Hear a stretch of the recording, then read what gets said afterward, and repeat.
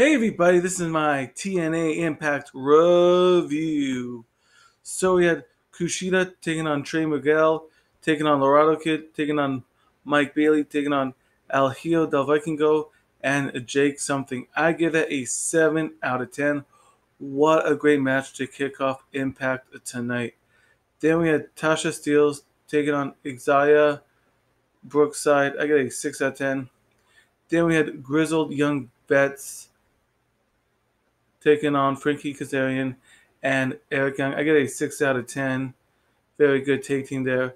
Then we had a PCO taking on Ajay Vidal. I get a 5 out of 10. Then we had a Josh Alexander taking on Will Ospreay. I get an 8 out of 10. What a main event. What a way to end Impact tonight. So overall, I'm going to give TNA Impact tonight a 7.5 out of 10.